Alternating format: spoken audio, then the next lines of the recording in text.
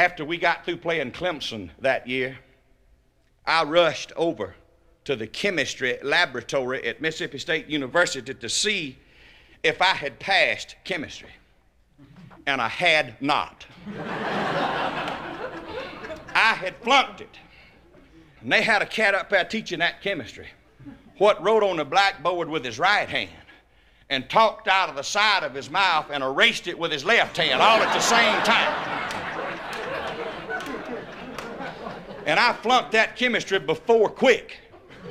And it made me stay up that summer and take chemistry again where I'd be eligible for football the following fall. And while I was up there that summer, I was working out one day, and the constable from Amite County, Mississippi, my mama had got the law to come after me. I heard him topping the hill.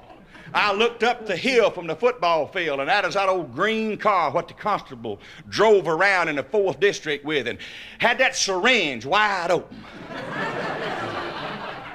Scared me, and I run up to him. I said, Constable, what's wrong? Said, Your dearest and best friend's in bad trouble. Your mama has sent me after you. I said, What'd Marcel Ledbetter do? said, Jerry, he tore up a beer joint. Not that it made any difference what my friend had done. You know, when I was a young and growing up, if a friend's foot slipped, you run and put your arm around him and said, Look here, there's enough of you left to salvage, and I come to help you. Nowadays, if a friend's foot slipped, a lot of us want to know what did he do? I ain't gonna help him. I called a brother deacon the other day. I said, Let's go help a friend of ours. He's in trouble. I want to know what the sorry devil done before I help him. I said, Well, let's gather us up a bunch of rocks and go stone him. yeah.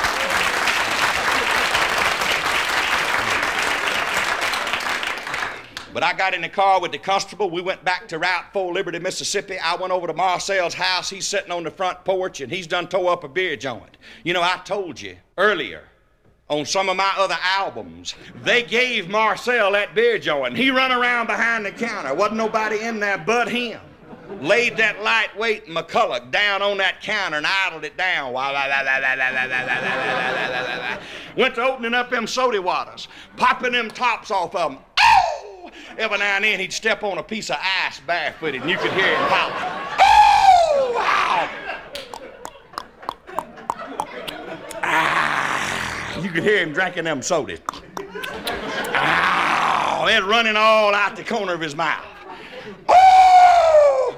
About that time, Marcel saw the owner of the beer joint sneaking up to the window.